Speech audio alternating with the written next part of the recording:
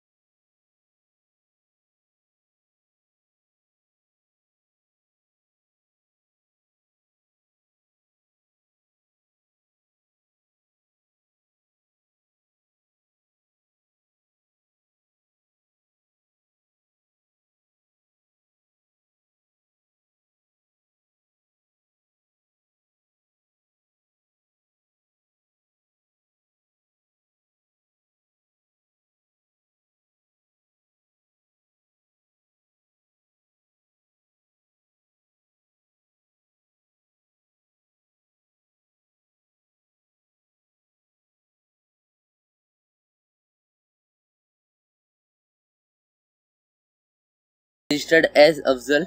Here, if we refresh this user profile pic folder, Afzal's profile pic will get add here. Now after login as customer, we got some more options at the header bar. Like cart, my orders. These are empty now because till now Afzal has not ordered anything.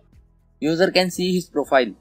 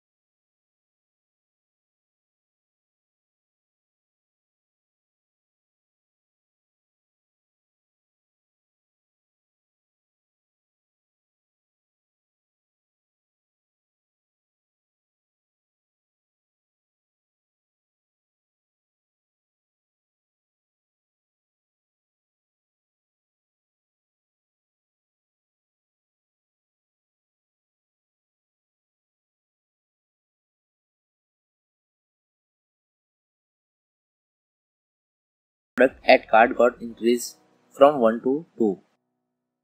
Let's also add these jeans to the cart.